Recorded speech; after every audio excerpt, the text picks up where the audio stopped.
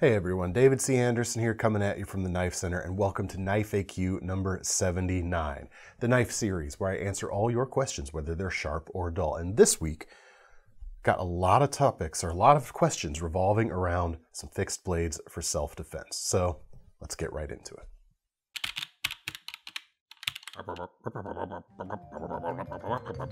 Do, do, do. All right, everyone, thanks for tuning in for this episode. As you can tell, I'm a little hoarse right now. I've been out a few days uh, with a bit of a cold, but all's better now. Uh, in the meantime, if you are new to this series, what you do is if you have a question you would like to have featured in a future episode, leave it in the comments section below, and there's a chance it'll get picked for one of those future episodes. Uh, we go through, pick out some fun ones.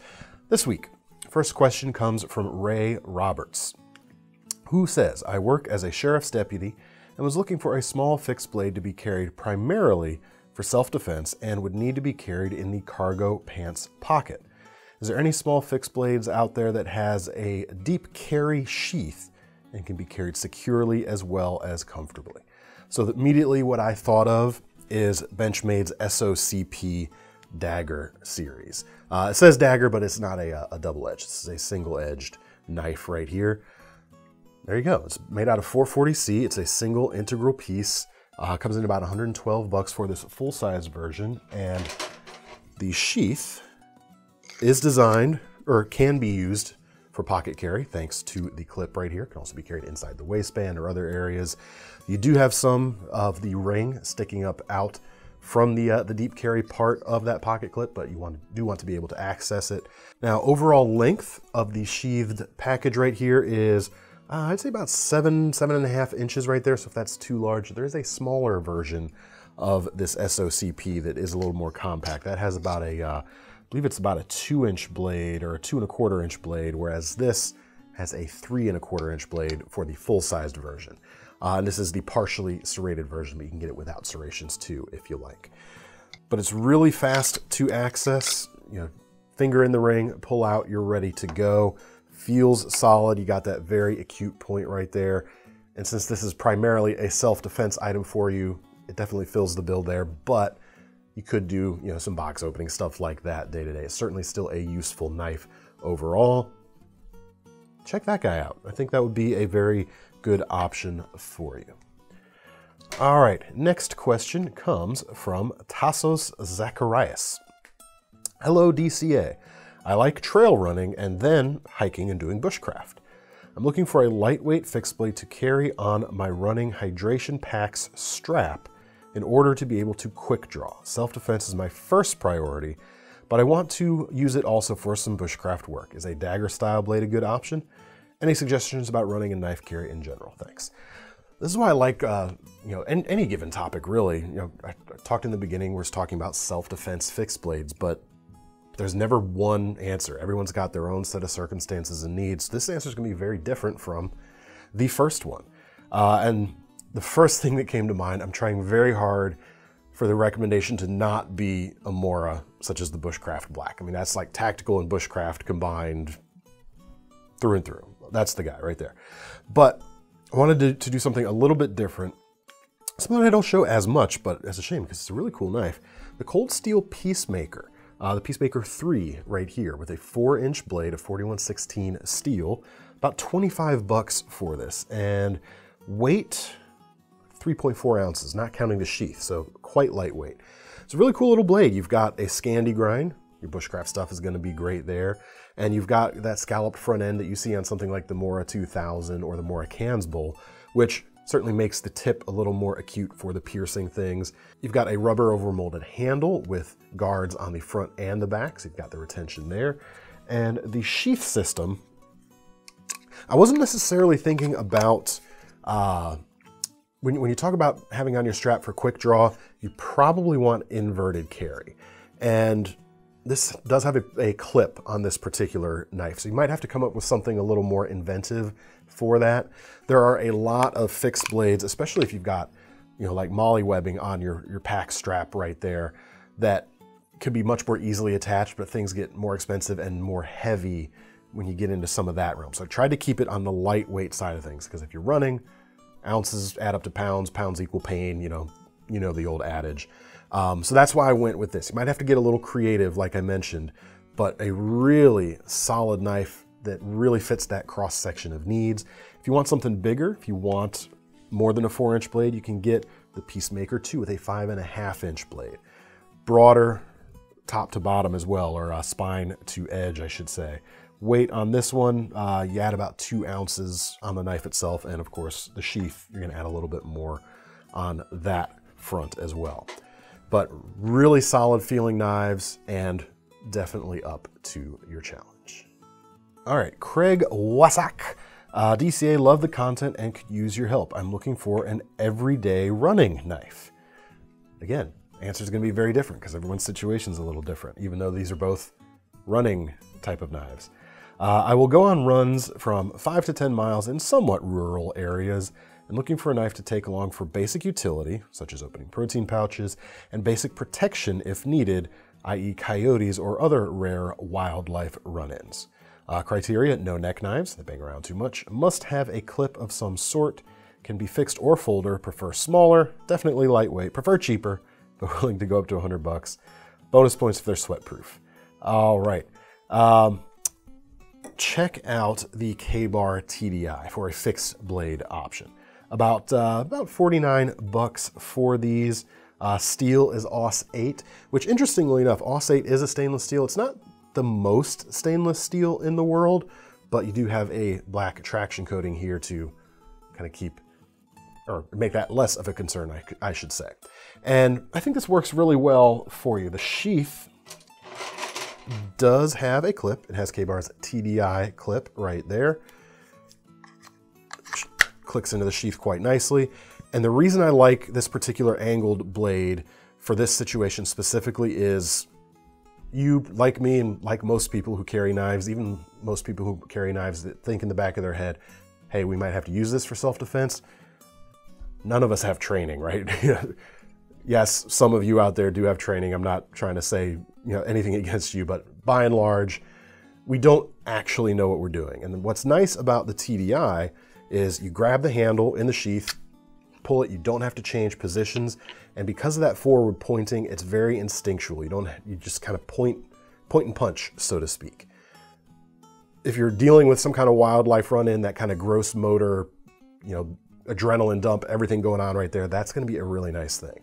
And if you're talking to other just basic utility, like making a few cuts, that's not gonna get in the way either. Open a pouch, makes a pretty good box uh, opener too, if, you're, if we're getting into that realm of things. Check that out. I think there's definitely something to be said for that, for it being one less thing you have to think about in a situation like that. These are fairly lightweight. I actually don't have a weight on the website. Let me see. Let me compare it to the Peacemaker here. Probably about four or five ounces, somewhere in that range. If you want to go uh, even lighter, there's stuff like the TDI Ladyfinger um, that go a little bit smaller, but I think this one would be a pretty good idea. Um, for a folder option, since you mentioned it, um, and it might just be because uh, recently featured these in a video, but my mind was going to the Honey Badger knives with the leaf blade.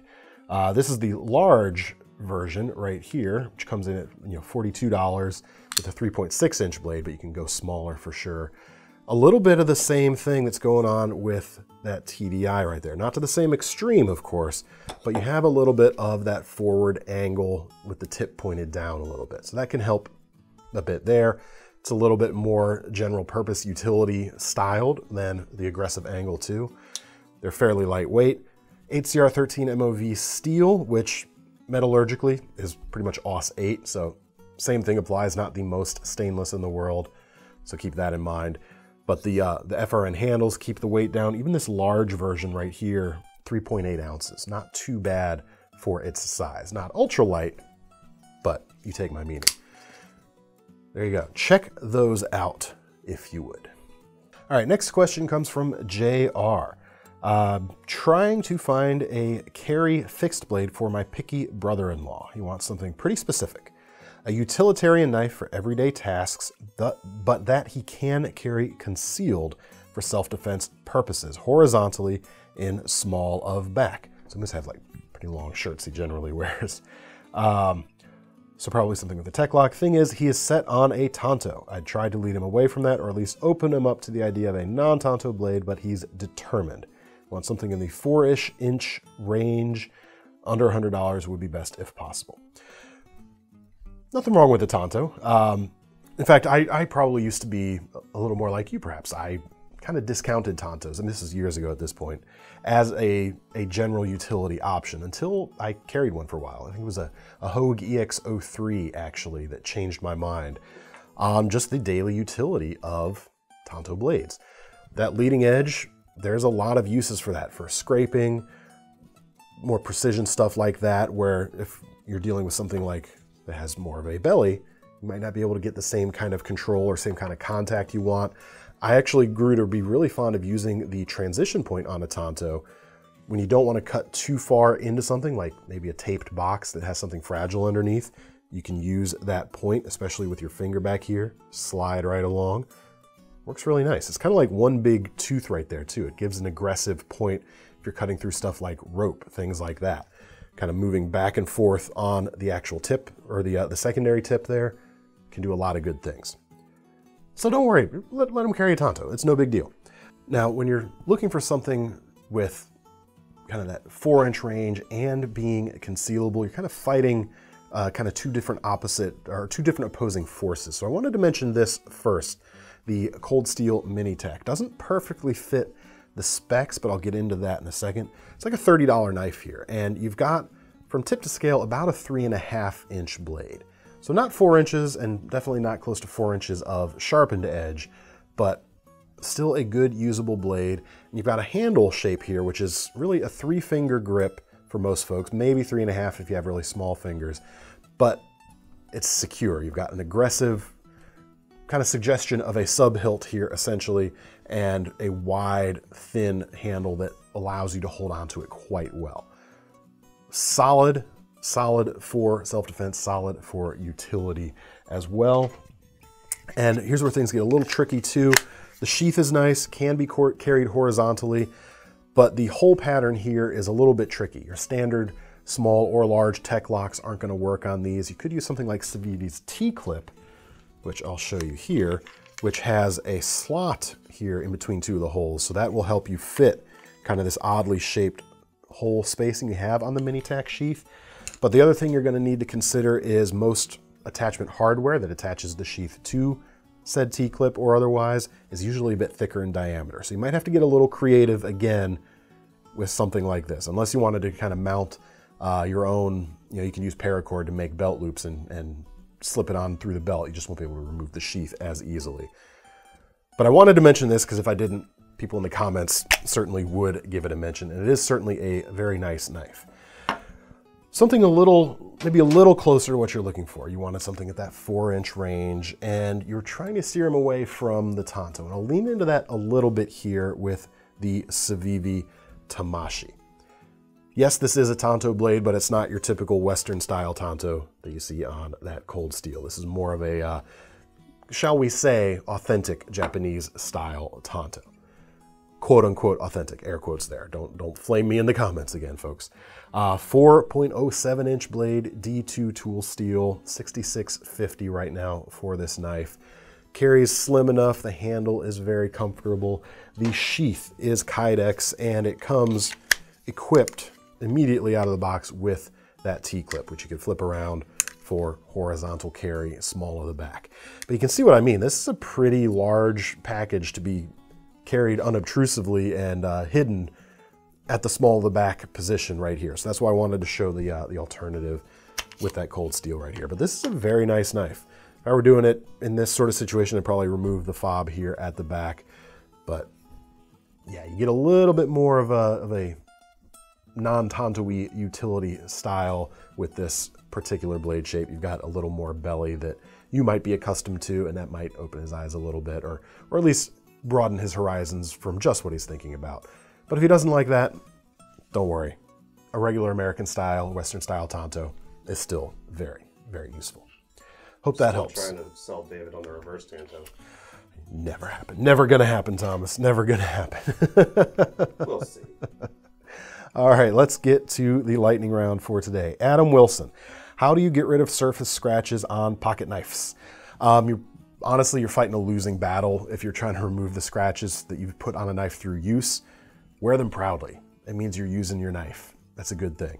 Because if you really wanted to get rid of them, you have to sand. You know, it's a deeper scratch than the finish, so you have to sand sand it out basically. So you have to figure out what kind of grit the original finish is, finish is, match it, and sand it back to that. But that gets complicated if you have something like this cold steel we just mentioned, which has a bead blasted finish. Can't sand that away because you're sanding away the bead blasted finish at the same time. It's just kind of one of those facts of life. You're gonna, if you're gonna use your blade, you're gonna put some scratches on it, but that's a good thing. Jim Was Was asked, whatever happened to ceramic blades? Uh, the smart alecky answer is they probably all chipped. I do have a, uh, a, ceramic blade knife here. This is the Boker Plus Anti-MC. And I believe, actually, they uh, use the ceramic in this particular blade because it is non-magnetic. But the reason it probably hasn't caught on uh, with the broader knife community at large, why it hasn't, uh, or why it was kind of a fad for a little while, they're still out there, is they're not as tough. They can chip a little easier, sometimes a lot easier than most steels. And when they do chip, it's a lot harder to kind of sharpen through them. You got to use diamond uh, abrasives and it's slow going. Most people are just going to prefer steel for those and other reasons as well. Nowadays, it's kind of more of a niche thing and more something you can give to folks who don't know how to take care of their knives anyway because it's going to be sharper than they ever felt a knife before. But then you're probably going to throw it in the dishwasher and it's going to chip anyway. So, not to drag ceramic knives, but just make sure you know what you're getting into when you purchase one. That's what they are. All right, Fred Pye says, uh, disappointed in the steel choice for Kershaw's new hunting knives. Uh, D2 will stain and rust with blood on them. D2 is an okay steel for EDC knives, but for hunting knife, it's not the best choice. I can respect that.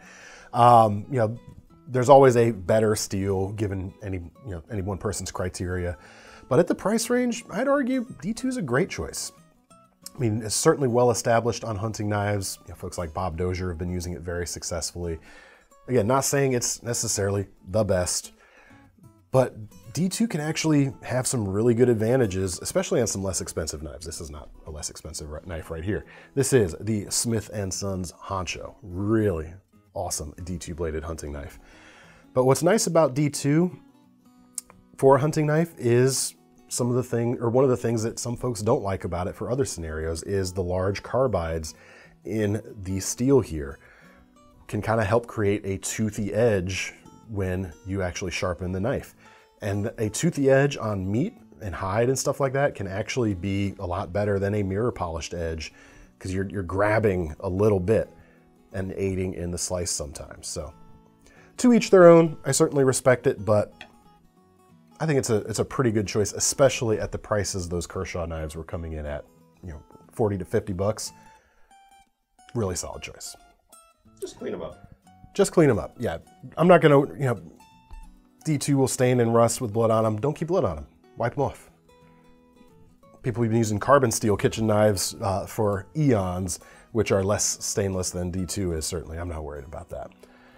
All right, which brings us to our final question, our most serious question of the day, which comes from Derek Wood. Mr. DCA, what knife would you recommend for getting to the chocolate? Try that again. What knife would you recommend for getting to the chocolatey center of a Tootsie Pop? So my first thought was, you know, you don't want to just crunch into it, right? You know, you want to lick it. So maybe something like the Old Bear mushroom knife because you got the nice brush there on the end. So you can you know, brush away like one, two, but then you're probably going to get frustrated, at which point I would pick up the Tops Clipper and crunch. So it'd be a three, three to, three to the center of the Tootsie Pop. But you might not be able to fit a full-size uh, Tootsie Pop through the, uh, the cigar hole on this particular friction folder right here, the little guys. That's why you gotta have those three licks first. You have the, well, it's, it's two licks and then the three. So just the two. Well, the world may never know. I was thinking Leatherman Crunch, but I couldn't find anyone uh, on, on filming day here. So, but I was thinking Kershaw Leek. Why, why the leek, Thomas? It's really close to lick. Not bad. I respect that. I dig it. Um, I'm, I'm not gonna lie. I definitely put tongue in the search bar on Knife Center. It didn't it didn't bring anything up though. Oh well. Oh well. All right, folks, that's all the questions I have to answer for you today. If you want a chance to have your question featured in a future episode, just drop it in the comments below. If you want to get your hands on any of these knives, we'll leave links in the description. That'll take you over to knifecenter.com. Make sure you sign up for our Knife Rewards program while you're at it, because you might as well earn some free money to spend on your next knives when you buy one of these knives today. I'm David C. Anderson from the Knife Center. That's Thomas behind the camera, and we're signing off. See you next time.